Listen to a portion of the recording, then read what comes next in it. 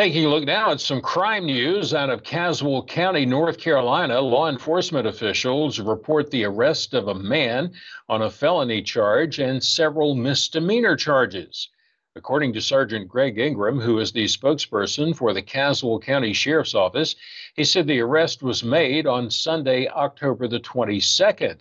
That's when Caswell County deputies arrested 31 year old Raven Byron Broadnax of Reidsville, North Carolina.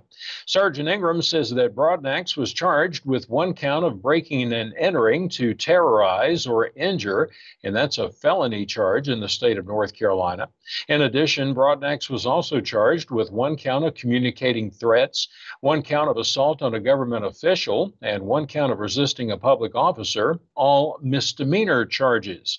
After his arrest, Raven Broadnax was placed in the Caswell County Jail in Yanceyville under no bond. His first appearance is set for Caswell County District Court, and that will be on Wednesday, October the 25th. There was no word on what led up to the charges against Raven Broadnax.